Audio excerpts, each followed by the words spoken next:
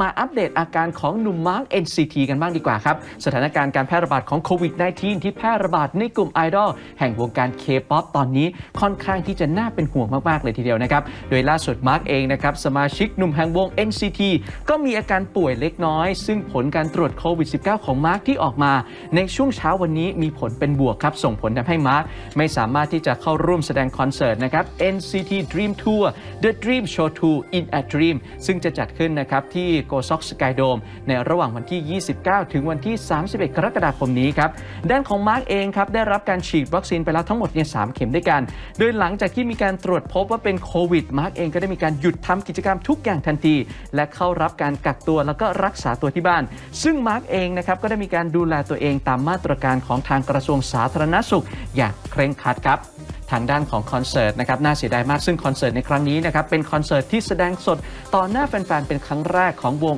NCT เอ่อ NCT Dream ในรอบ 3 ปี และก็ถือว่าเป็นครั้งแรกที่สมาชิกทั้ง 7 คนเนี่ยมาครบนะครับหรือที่แฟนๆ เรียกกันว่า Seven Dream ซึ่งก็ถือว่าเป็นเรื่องที่น่าเสียดายมากๆ มาร์กติดโควิดเสียก่อน จึงไม่สามารถที่จะเข้าร่วมการแสดงคอนเสิร์ตในครั้งนี้ได้ ส่งผลทำให้คอนเสิร์ตในครั้งนี้นะครับที่ก็จะมีเพียงแค่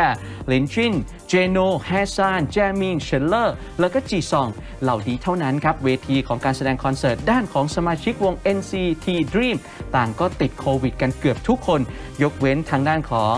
เหรินจวิ้นนะครับที่เพียงแค่คนเดียวเท่านั้น ส่วนไอดอลหนุ่มนะครับ ที่มีการประกาศว่าติดโควิด -19 ไปในช่วงเย็นวันนี้นั่นก็คือซิโก้ซึ่งเจ้าตัวก็บอกว่ามีอาการเจ็บคอเล็กน้อย โดยการติดโควิดทำให้เขาต้องหยุดทำกิจกรรมทุกอย่าง และต้องมีการกักตัวรวมถึงรักษาตัวที่บ้านเช่นเดียวกันครับ อย่างที่บอกไปครับช่วงนี้เนี่ยระบาดหนักมาก วงการค่ะ K-POP เนี่ยเราอ่านรายงานข่าวมาหลายคนมากอืมถึงแม้ว่าจะป้องกันยังไงต่อให้ฉีดวัคซีนยังไง ก็ไม่ได้การันตีว่าคุณจะไม่ติดนะใช่ติดแต่ว่าความรุนแรงของโรคเนี่ยอาจจะไม่ได้มากสักเท่าไหร่นะครับถูกต้องค่ะ เพราะฉะนั้นเนี่ยบ้านเราก็ระมัดระวังตัวเองกันด้วยนะคะตอนนี้เขาบอกว่าเป็นรอบเก็บตกใครที่ยังไม่ติดก็น่าจะมาติดกันรอบนี้แหละนะคะดูแลตัวเองกันอย่างเต็มที่นะคะ